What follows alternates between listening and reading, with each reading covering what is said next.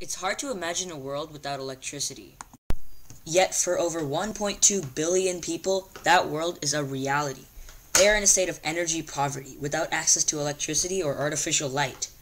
According to the World Health Organization, an average of 4.3 million deaths worldwide arise from poor cooking methods and in home fires resulting from unsafe electricity use.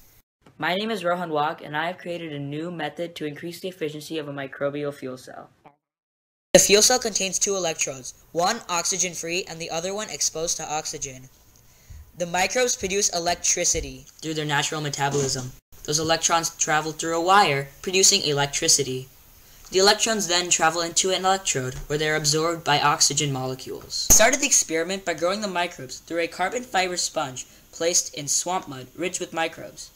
I then extracted the microbes and placed them in a PEMFC shell.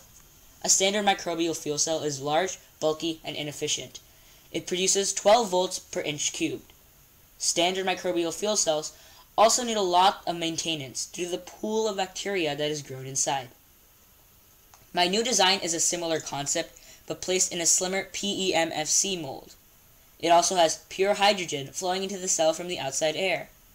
My design needs low maintenance because the microbes are placed in a thin sheet and not in a large cylinder. I compared my new design to that of existing microbial fuel cells and compared the efficiencies. My new design is 1 by 1 by 0.1 inches and capable of producing 2.1 volts of electricity. This calculates to around 21 volts per inch cubed, but more probably, due to space and design challenges, 17 volts per inch cubed is a more accurate measure if the fuel cell is to be sized up. This is a momentous 70% increase from a standard microbial fuel cell. This is a great technology that can be used around the world.